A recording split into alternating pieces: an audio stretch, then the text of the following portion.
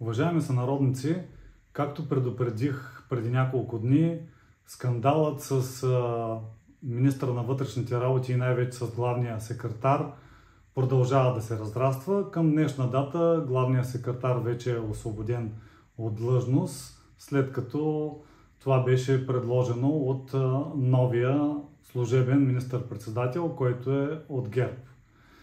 След това обаче видяхме много интересни неща. Показаха се снимки с а, пачки, куче, което носи тези пачки. И всъщност тук а, е добре да направим препратка към пачките и кюлчетата, които бяха снимани на шкафчето на Бойко Борисов. Но какво се случи с а, проверката по тези пачки и кюлчета с Бойко Борисов? Нищо. Вероятно, и с а, бившия главен секретар Коцев също нищо няма да се случи. Още повече, че в момента дори и медиите вече нищо не говорят а, по този въпрос. Всъщност, какво става реално? Този човек а, има връзки с а, бившата шефка на митниците, има връзки с а, контрабандисти. Това се доказва дори и от СРС-тата, които бяха пуснати и бяха изтекли в пресата.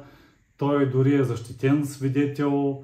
Там се оказаха много подробно описани неговите връзки с тези хора, неговите срещи по рождени дни, скъпите подаръци, часовници и така нататък. Това е една голяма корупция, това е мафиотски модел на управление – такъв какъвто вече видяхме от ГЕРБ, които си изпраха през продължаване промяната в сглобката техния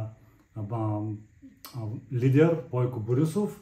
А пък сега този главен секретар Коцев виновен ли е, не е ли виновен, със сигурност е виновен, разбира се, но ние няма как да разберем, но те го жертват за това да има, да могат да се нагласят изборите. Интересното е, че за него бившия премиер Николай Денков лично се беше застъпал. Дори каза, че ще подаде сигнал в прокуратурата срещу натиска, който му е оказван от, забележете, временно изпълняващия главен прокурор и настоящия министър на вътрешните работи. Всички тези хора трябва не само да бъдат уволнени, не само да напуснат своите длъжности, а дори да им се потърси отговорност. Те трябва да бъдат съдени.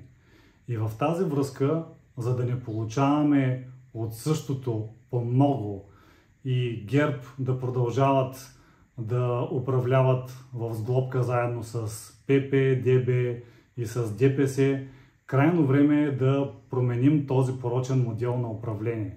Затова на 9 юни е много важно да излезем и да гласуваме.